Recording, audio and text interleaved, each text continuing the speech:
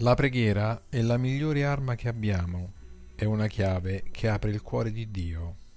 Devi parlare a Gesù anche col cuore, oltre che col labbro.